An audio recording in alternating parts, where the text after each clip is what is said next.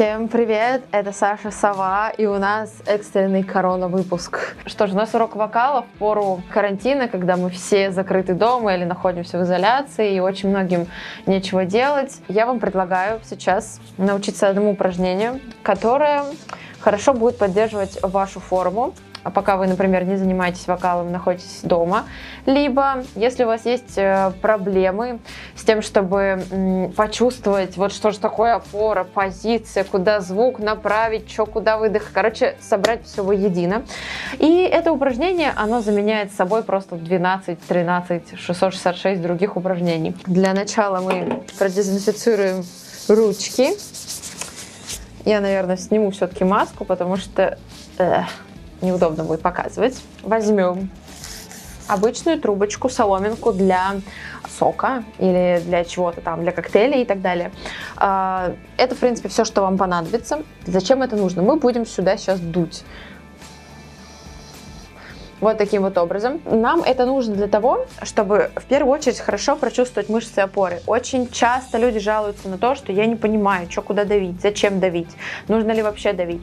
Нужно э, запустить в ход глубокие внутренние мышцы пресса. Чтобы понять, как запустить вот этот вот механизм, а, нужно просто попробовать как будто бы шепотом, да, на выдох пропеть ноты. Мы ноты не поем, мы просто вот выдуваем их. Одним таким большим-большим выдохом, да. То есть надо понимать, чтобы звук у нас, выдох, вернее, не прерывался, либо вот так. То есть мы прям ровненько подаем у нас в этот момент возникает напряжение в области пресса, да, то есть это 100% будет такое напряжение, автоматически это происходит. Это показывает то, с какой силой, с какой глубиной мы должны подавать наш звук, да, куда мы его должны опирать. Теперь пробуем туда подключить немножечко звука. Это никакая не буква, просто какой-то звук. То есть, чтобы нам вместе с выдохом да, подать звук, нам приходится делать усилия от пресса. И теперь пробуем, э, немножечко подавая воздух впереди, да, то есть все-таки с придыханием поем, э, сделать следующее упражнение.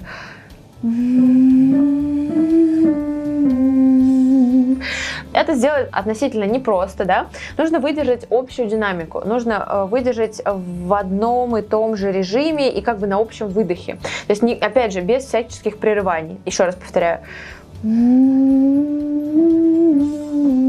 чтобы звук нигде не сломался, не зажался и так далее. Вот. И пробуем э, просто на любых нотках. Не получается что-то в песне, допустим, у нас не получается фраза. Пробуем ее продуть сначала. И теперь продуваем, а затем на этом же дыхании поем. I love you. То есть, естественно, когда мы убираем трубочку, мы ничего не сбрасываем, у нас остается напряжение, да? Просто мы продолжаем звучать на том напряжении, которое мы набрали, э, том, условно говоря, напряжение опоры, которое мы набрали, пока дули в трубочку. Еще раз показываю. I love you. I love you. То есть это упражнение запускает как я и сказала, да, нормальное дыхание, запускает нормальную опору, кто бы там что ней не говорил, и даже частично запускает позицию, запускает правильное направление звука, да, то есть какие-то такие, как анатомические штуки запускает нормально, так и акустические. Поэтому очень советую вам это упражнение, очень хорошо развивает все ваши опции вокальные, поэтому да, э, если у вас есть соломинка, можете любого размера взять, если она очень толстенькая, просто сожмите ее получше, вот, ну и собственно все. Любое упражнение, любое предложение можно сначала отрепетировать на трубочке, а потом уже переходить к пению песен.